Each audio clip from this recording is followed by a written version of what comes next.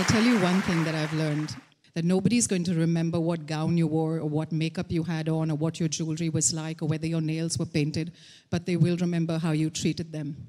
And that's the biggest lesson in life. It's how you treat people. That's the legacy you leave behind.